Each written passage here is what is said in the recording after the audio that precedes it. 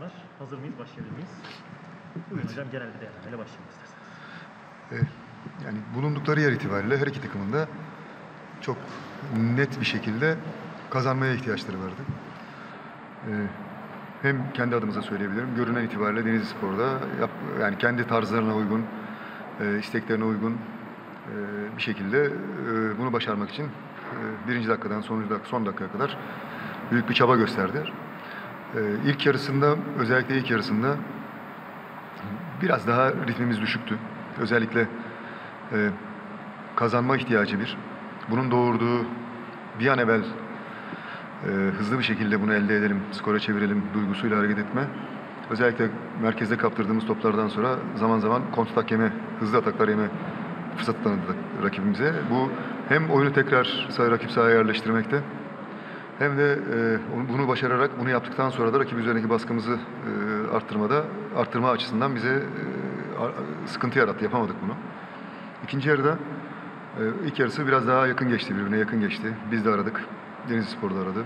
İkinci yarıda e, özellikle topun ritmini arttırdıktan sonra e, yani ciddi anlamda pozisyonlar yakaladık. Rakip sahada oynadık daha fazla maç- maçın büyük bölümünü.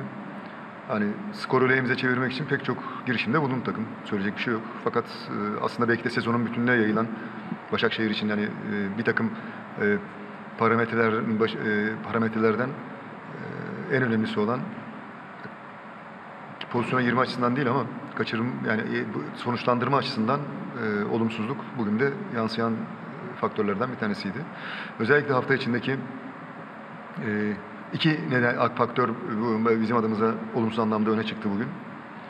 E, birincisi çok güzel bir saha ancak kuru olunca tabii e, topun akışı biraz e, günlük güneşlik bir hava vardı. Çok güzel bir hava vardı. E, kuru bir havada topun akışı biraz yavaşladı. Bu bizim adımıza bir handikap olarak gözüktü. Ama esas handikap özellikle maçın 10 15 son 15 20 dakikasında 10 15 dakikasında daha net bir şekilde gözüktü ki ee, özellikle salı günkü maçın biraz yükü üstümüzdeydi. Ee, hareketten harekete geçişlerde biraz zayıflama oldu oyuncularımızda. Bu da maçın skoruna etki eden faktörlerden bir tanesi oldu. Ee, ama bütün olarak bakmak gerekirse iki takımın da istemediği bir skor ortaya çıktı.